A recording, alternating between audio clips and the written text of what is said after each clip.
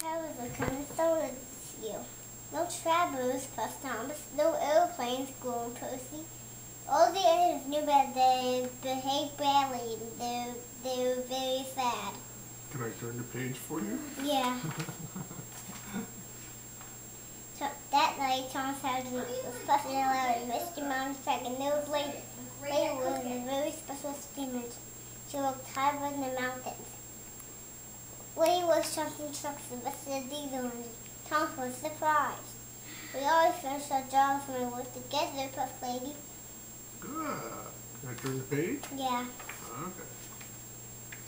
But when Thomas woke up, he had an idea. First, he wanted to visit see Mavis. Mavis was a con diesel engine, and Thomas knew she would listen. He told Mavis that he wanted steam engines and diesel engines to work together. Let's have a big meeting with all the engineers at cool stuff tomorrow, Thomas Bump.